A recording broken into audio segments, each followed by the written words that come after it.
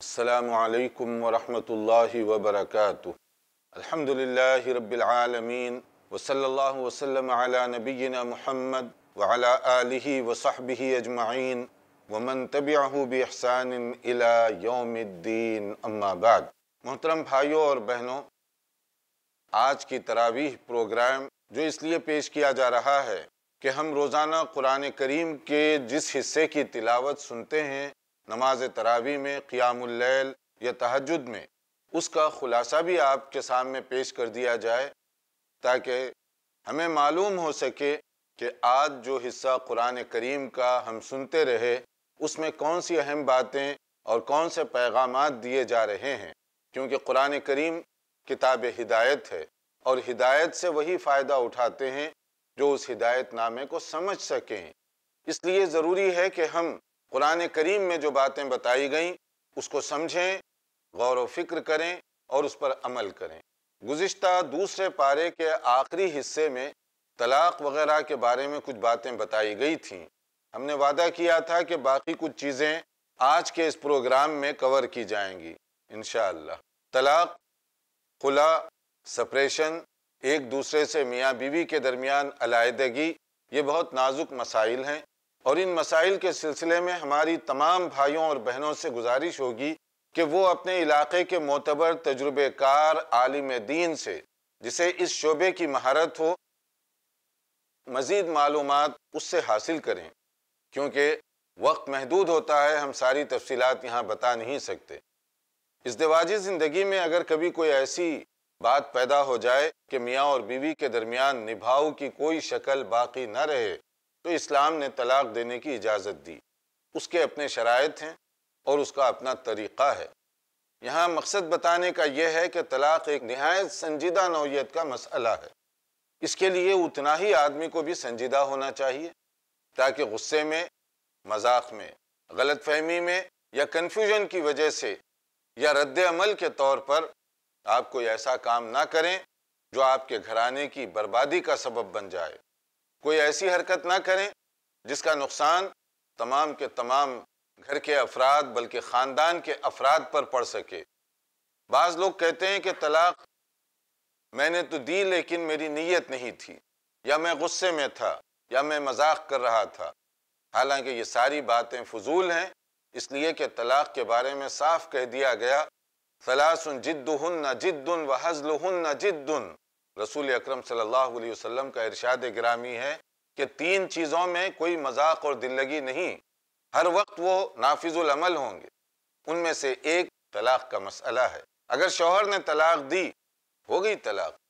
आपका ये कहना कि मैं गुस्से में था, या मज़ाक कर रहा था, या मेरी नीयत ये नहीं थी, इससे तलाक के मौसर होने में कोई फ़र्क नहीं पड़ेगा। इसी तरह दूसरी जो चीज़ है, सारी ज़िंदगी में तीन हक दिए गए हैं तलाक के। एक मरतबा तलाक दे दी, फिर आपस में मुसालहत हो गई, रह सकते हैं। मगर जब वो दूसरी मरतबा तलाक देगा तो ये दूसरी काउंट होगी। पहला हक तो चला गया था, अब ये दूसरा है। और फिर उसके बाद कोई हालात पैदा हो जाए तो ये थर्ड और अब्सोलूट फाइनल तलाक होगी और उसके बाद सुलह करने के इम्कान ख़त्म हो गए। तलाक के बारे में एक और चीज़ जहन में रखने की है कि तलाक जब आदमी दे तो उसके बाद कितने दिन में वो रुजू कर सकता है? तलाक के सिलसिले में कि अगर तलाक दे दी जाए और इद्दत के अंदर, यानी तीन मेंसेस के अंदर, अगर उसके अंदर वो रुजू कर रहा है, फिर तो ठीक है। और अगर वो टाइम गुजर गया, तजदीद अकद निकाह की ज़रूरत पेश आएगी। यानी दोबारा निकाह करना पड़ेगा।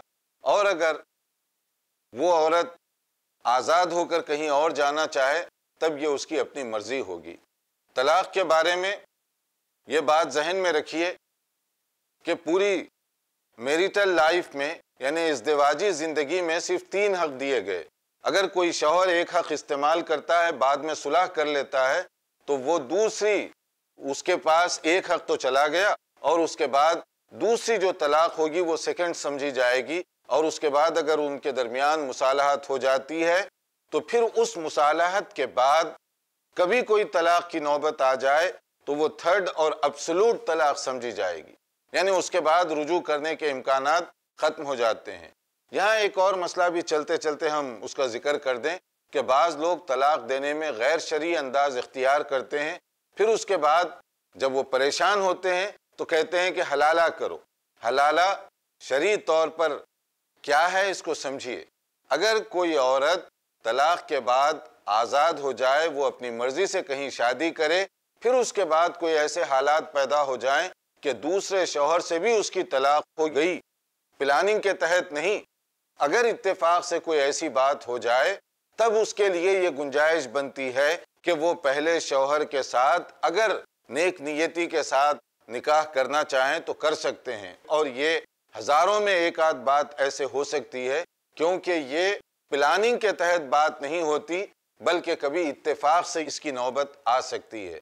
तीसरा पारा, जो कि आज के प्रोग्राम का एक अहम हिस्सा है, तीसरे पारे के आगाज़ में अम्बिया कराम का ज़िक्र किया गया कि अल्लाह ताला ने मुख्तलिफ़ अम्बिया कराम को मुख्तलिफ़ अवकात में मबूस फरमाया, हर नबी अपनी जगह मुक़दस हर नबी अपनी जगह मोहतरम, हर नबी की शख्सियत अपनी जगह नहायत आला रही है। मगर अम्बिया कराम के अंदर भी दर्जात का फ़र्क है।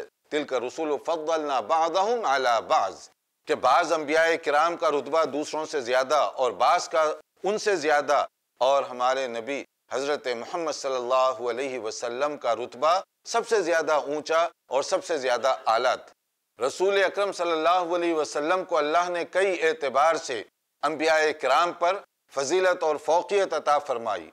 अम्बिया कराम सलाम के दरमियान ये जो दर्जात हैं, फजीलत के एतबार से जो फ़र्क है, ये अपनी जगह है, मगर बतौर मोमिन के मुसलमान होने के लिए ज़रूरी है कि तमाम अम्बिया कराम की बेसत पर हमारा ईमान हो।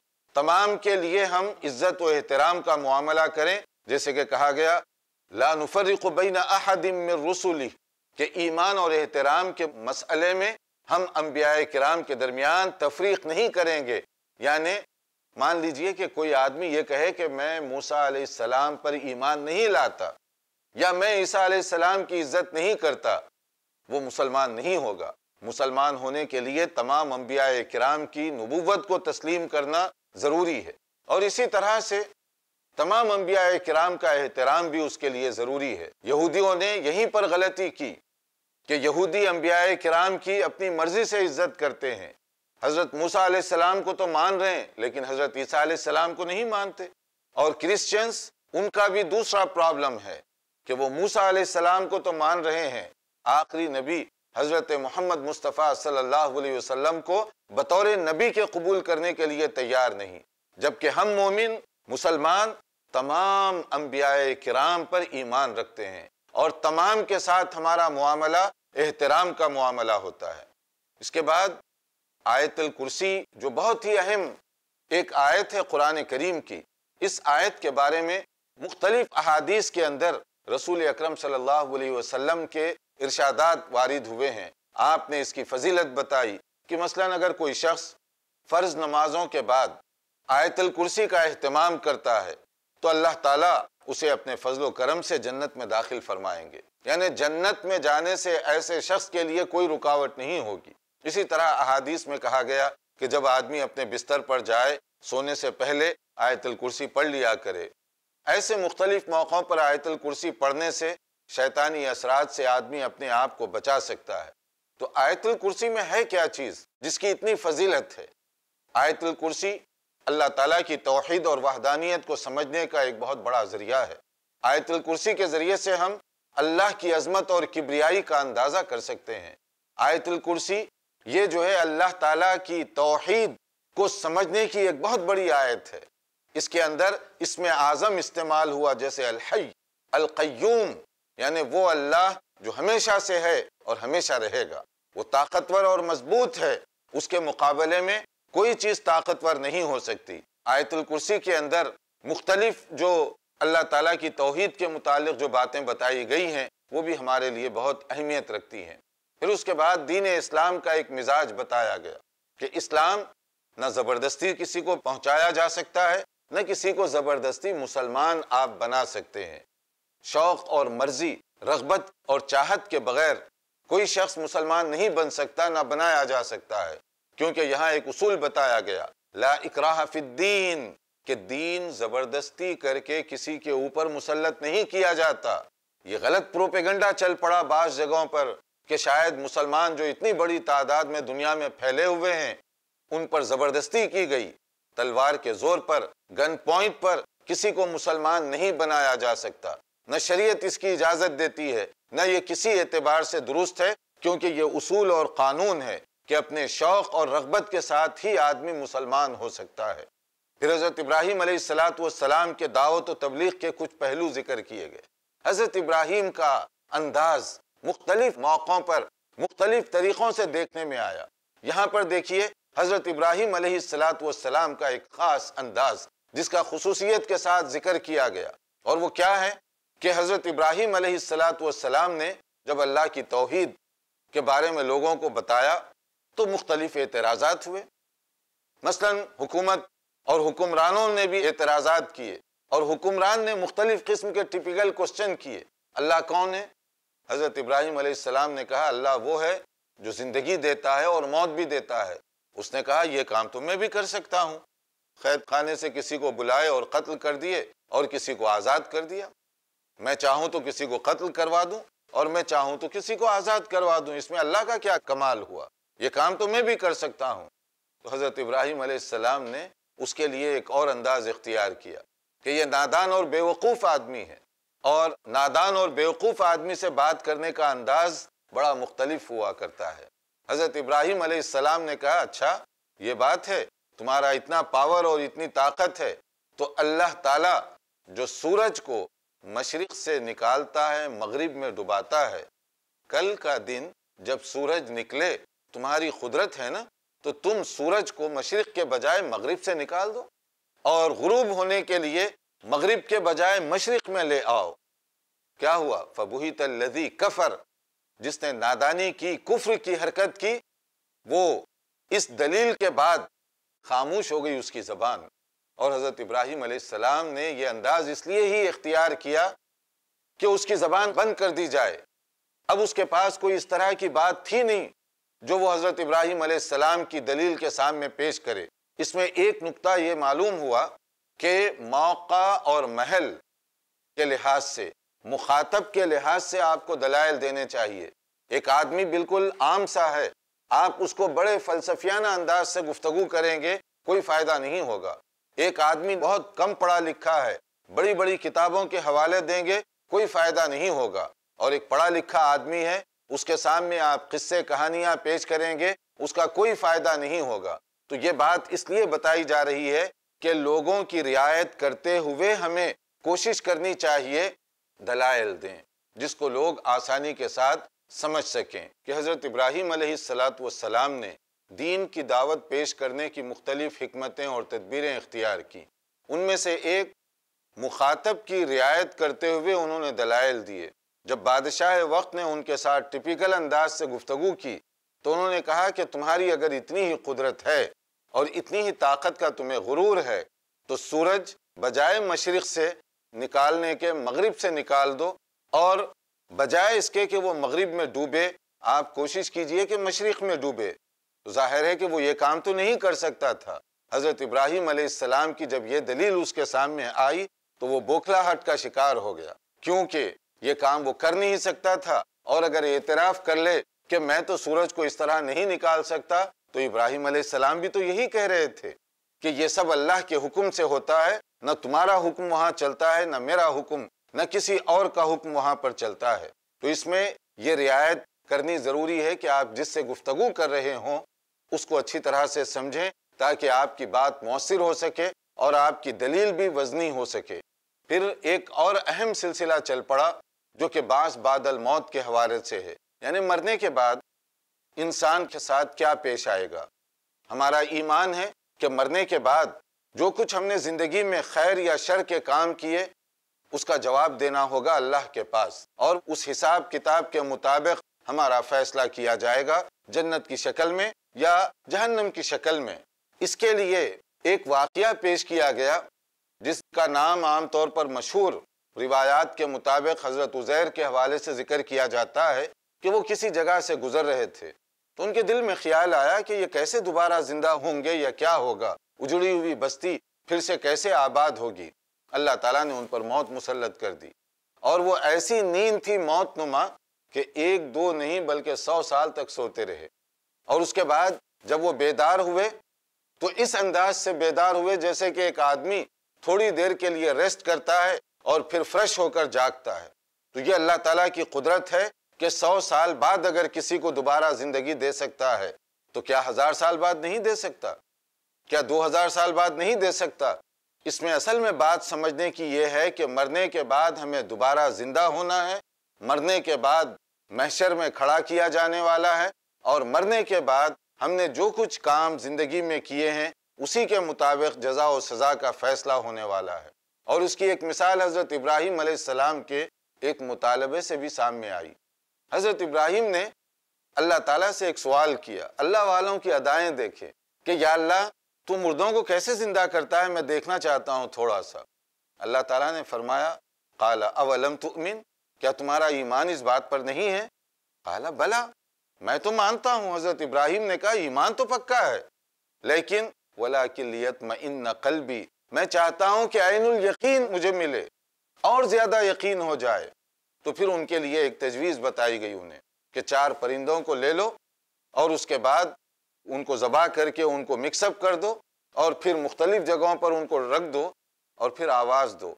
देखो कि कैसे वो आते हैं तुम्हारी आवाज़ पर। ये कुदरत और एक मोजिजाती चीज़ थी और वाकई इसी तरह से हुआ ये बताने के लिए कि मरने के बाद अल्लाह ताला कैसे दोबारा ज़िंदा कर सकता है। यानी एक मोमिन का यकीन जितना होगा कि मरने के बाद हमें दोबारा ज़िंदा किया जाएगा तो फिर उसी एतबार से उसका अमल भी बेहतर होगा। हर बात से पहले वो सोचेगा कि क़ियामत के दिन मुझे इसका जवाब देना होगा। हर अमल से पहले वो सोचेगा कि क़ियामत के दिन मुझे इसका जवाब देना होगा। फिर उसके बाद अल्लाह ताला के रास्ते में खर्च करने की बात की गई। इन्फाक यानी अल्लाह के रास्ते में खर्च करना यह इलाज है निफाक का हिपोक्रेसी का। दिल के अंदर जो माल और दौलत की हिरस और लालच इस इंसान के अंदर पैदा होती है, उसका इलाज फ़ी सबील्ला खर्च करने में है। और अगर कोई आदमी फ़ी सबील्ला खर्च करता है तो उसका उसी एतबार से उसको फ़ायदा होगा। और ये ज़क़़त वाली बात नहीं, एक है कंपलसरी ज़क़़त, जो देना ही देना है, ये रुकन इस्लाम है। लेकिन एक है इन्फाक आम मानों में कि आप जितना खर्च करेंगे, उसका उतना ही ज़्यादा आपको फ़ायदा और उसका उतना ही ज़्यादा आपको सवाब भी मिलता रहेगा। लेकिन खर्च करने के कुछ आदाब हैं। वो क्या हैं और खर्च करने की फजीलत क्या है? इन ताला हम आगे जो चौथे पारे का खुलासा आपके सामने रखेंगे तो वहाँ उसके कुछ आदाब बताएँगे। मगर यहाँ माल के सिलसिले में तीसरे पारे के अंदर चंद अहम बातें बताई गई। एक इन्फाक और दूसरे रिबा सूद का मसला दुनिया भर में प्रोग्राम देखने वाले मेरे भाई और बहनें कुरान करीम का ये हिस्सा अपने जहन और दिमाग में अच्छी तरह से उतारें कि कुरान करीम ने रिबा को किस अंदाज से पेश किया है। कुरान करीम में रिबा का बहुत तवील सिलसिला चल रहा है, दो सौ पचहत्तर आयत से लेकर दो सौ इक्यासी आयात तक 275 से 281 तक। जिसमें ज़िक्र किया गया नंबर एक, रिबा इंटरेस्ट सूद, ये हराम है। वह अहल्लाबया व हर्रम रिबा, खरीद फरोख्त कारोबार से जो मुनाफा मिलता है, वो जायज़ है, तिजारत से। और सूद, ये हराम है। ये कुरान कह रहा है, सूद हराम है। कोई मौलवी का फतवा नहीं, कोई मुल्ला की ओपिनियन नहीं, कोई फला और फला की बात नहीं। और फिर उसके बाद नंबर दो या अयुहल्लदीन आमनुत्तकुल्लाह वदरू मा बकिया मिन रिबा इन कुंतुम मुमिनीन। ऐ ईमान वालो, अगर तुम वाकई मोमिन हो तो फिर जैसे ही मसला मालूम हो, सूदी कारोबार को अट वंस गिव अप कर दो। छोड़ दो एकदम। कभी आदमी गफलत की वजह से उसमें मुब्तला हो गया था, मालूम नहीं था। लेकिन जो ही मसला मालूम हो, फौरी उसको छोड़कर तौबा कर लेनी चाहिए। और अगर ऐसा ना हो तो उनके लिए क्या कहा गया? फ़िल्म तफ़लू फ़नु बिन अल्लाह व अगर तुम सूद को गिव अप नहीं करोगे, सूदी कारोबार को नहीं छोड़ोगे तो फिर अल्लाह और उसके रसूल के मुकाबले में एलान हर्ब कर रहे हो तुम। है कोई जिसमें इतनी ताकत है कि अल्लाह और उसके रसूल के साथ जंग करे? कभी आपने सोचा सूदी कारोबार करते हुए, सूद पर कॉन्ट्रैक्ट करते हुए 20 साल का अग्रीमेंट 25 साल का अग्रीमेंट आपको मालूम नहीं कल क्या हालात पेश आने वाले हैं और आप सूद के लिए 20 साल का अग्रीमेंट कर रहे हैं। कल मौत हो गई तो फिर हमें सोचना चाहिए कि जब दुआए मगफिरत की जा रही अल्लाह मगफिल हयना या अल्लाह इसकी मगफिरत फरमा दे, जबकि वो अल्लाह से फाइट करते हुए मरा है। कब्र में दफन करने के बाद ऊपर से लोग दुआ कर रहे हैं, जबकि वो अल्लाह ताला से लड़ते हुए मरा है। मैदान महशर में अल्लाह ताला से लड़ने वाले अल्लाह के सामने किस तरह से पेश किए जाएँगे? और जब हौज कौसर पर जाएँगे, रसूल अक्रम वसल्लम से जंग करने का ऐलान करने वाला कैसे वहाँ जाएगा? कैसे उसके लिए आपकी शफात होगी? जरा गौर तो कीजिए तन्हाई में बैठकर। ये कुरान करीम का तीसरा पारा जो आज आपने तरावी की नमाज़ में सुना, तिलावत की, आखिर उसका मकसद क्या है? कम से कम इस हुक्म रब्बानी पर हम गौर तो करें। और फिर उसके बाद में कहा गया, अगर तुम सूदी कारोबार को नहीं छोड़ोगे तो याद रखो, एक दिन आने वाला है, जब तुम सबको अल्लाह की तरफ़ लौट कर जाना है, और वहाँ पर तुम्हारे आमाल के मुताबिक फैसला किया जाएगा। और जो सूदी कारोबार में, सूद के लेन देन में मुलवस रहे हैं, क़ियामत के दिन ऐसे उठेंगे, जैसे किसी आदमी पर शैतान चिमट जाता है, यानी बावले बनकर। पागलपन की वो हरकतें करने लगेंगे। क्यों? खौफ और दहशत की वजह से कि हम अल्लाह और उसके रसूल के खिलाफ जंग करते हुए आए हैं। अब हमारा क्या बनेगा? अब हमारी कैसे नजात होगी? अब हमारी कैसे मगफिरत होगी? दुनिया बड़ी शैतान पुरकशिश बनाकर पेश करता है। बहुत सारे ऐसे लोग जो दीन का नाम लेते हैं, मगर इसके बावजूद उनसे इस तरह की गफलत और कोताहियाँ हो रही हैं। फिर इसी तरह से एक मसला वो कर्ज के बारे में बताया गया कि कर्ज अगर किसी के साथ कोई लेन देन है बगैर किसी सूद के, जैसे इंसानी ज़रूरत है, इस तरह की बात पेश आती है तो यहाँ कुछ हुक्म दिया गया। मसलन ये है कि आपका जो अग्रीमेंट किसी के साथ हो इन राइटिंग हो, ताकि कल कोई झगड़ा ना हो, दें या लें, लिखा पढ़ाई के साथ हो, या नहीं, दो गवाहों की मौजूदगी में हो और अगर चाहो तो रहन और गारंटी के तौर पर कोई चीज़ रख सकते हो, ताकि बाद में लड़ाई, झगड़ा या इख्तलाफ या इस तरह की कोई बात पेश ना आने पाए। शफाफियत बहुत ज़रूरी है, ट्रांसपेरेंसी बहुत ज़रूरी है, वरना आम तौर पर होता यह है कि लोग खुशफहमी की वजह से कुछ ऐसे मामलात करते हैं कि पूरी तरह से चीज़ें तय नहीं पाती और बाद में फिर लड़ाई, झगड़े की नौबत पेश आती है। फिर उसके बाद सूर्य आल इमरान की मुनासबत से ईसाई और उनके अंदर जो बिगाड़ पैदा हुए, उनका खुलासा पेश किया गया कि एक मौके पर नजरान जो एक इलाका था, वहाँ से एक डेलीगेशन रसूल अक्रम वसल्लम से बातचीत करने के लिए हाजिर हुआ। इसमें एक नुक्ता ये भी है कि नबी करीम वसल्लम की मस्जिद में आपसे बातचीत करने के लिए गैर मुस्लिम वफूद भी आया करते थे।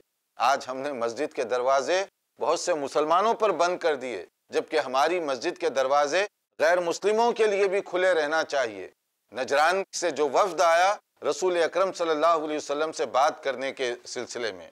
तो गुफ्तगु का जो खुलासा है और जो इस्लामी पैगाम है, यहाँ उसका ज़िक्र किया गया। सबसे पहली चीज़, हज़रत ईसा ने ज़िंदगी में कभी ये दावा नहीं किया कि वो अल्लाह ताला के बेटे हैं, वो अल्लाह के बंदे हैं और उनकी वालद मोहतरमा का नाम हज़रत मरियम था।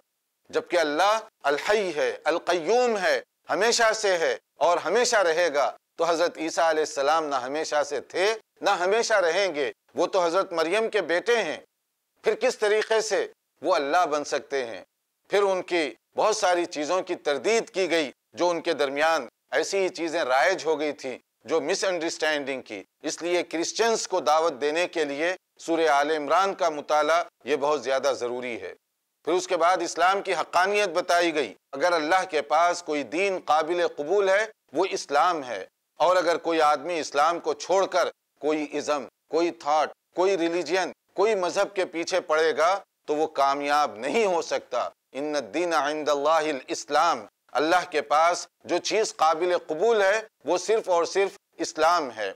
और फिर इसके साथ ही एक नुकता ये भी बताया गया कि हम ईसा सलात सलाम की बड़ी इज़्ज़त करते हैं, बड़ा एहतराम करते हैं, उन पर ईमान रखते हैं कि वो अल्लाह के सच्चे नबी थे, मगर हम उन्हें अल्लाह का बेटा नहीं कह सकते, क्योंकि अल्लाह ताला बेनियाज है कि अपनी किसी को औलाद बनाए, या उसकी कोई फैमिली हो, ये इंसान की ज़रूरत है यह अल्लाह ताला की ज़रूरत नहीं है। फिर हज़रत ईसा सलाम को अल्लाह ताला ने, जब लोगों ने चाहा कि सूली पर लटकाया जाए अल्लाह ने अपने गैबी इंतज़ाम से उनको उठा लिया बाइज़्ज़त तौर पर और फिर वो क़ियामत से पहले दोबारा इसी ज़मीन पर वो वारिद होंगे, जो भी उसकी शक्ल बनेगी। इसके बाद फिर आखिरी हिस्से में हज़रत इब्राहिम सलाम के बारे में भी एक वजाहत की गई कि यहूदियों का दावा है कि वो हज़रत इब्राहिम के नक्श कदम पर चलते हैं।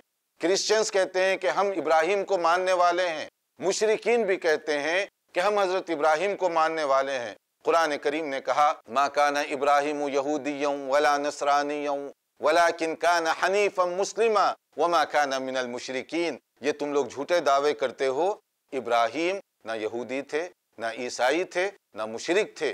खालिस और प्योर अल्लाह के फर्मा बरदार बंदे मुसलमान थे। तो इसलिए नस्बत बनाने से कोई चीज़ हासिल नहीं होती, जब तक कि उनके उसूल और उनकी तरीक़े को ना समझें। अल्लाह ताला समझने और कुरान और सुन्नत के मुताबिक ज़िंदगी बसर करने की तोफ़ी अता फ़रमाए। वालकम वरहमल वर्का